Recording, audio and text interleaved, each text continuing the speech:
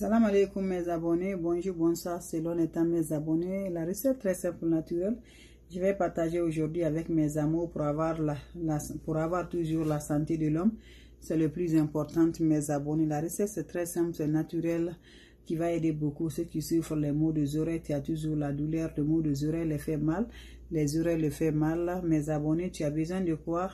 Tu as besoin de l'orange, tu enlèves le jus de l'orange, tu mets sous tes deux oreilles tu vas mettre sous tes deux oreilles, tu serais content, tu serais heureux. Juste, le jus de l'orange va te soulager. Par grâce à Dieu, le jus de l'orange va te donner la santé naturelle. Le jus de l'orange, c'est la recette des grand-mères, ça va vous aider beaucoup. Vous allez adorer, vous allez aimer beaucoup. Voilà. Voilà, tu mets tout, tu vas enlever la peau, tu coupes, tu prends le jus, tu mets tous les deux oreilles, fais ça tous les jours.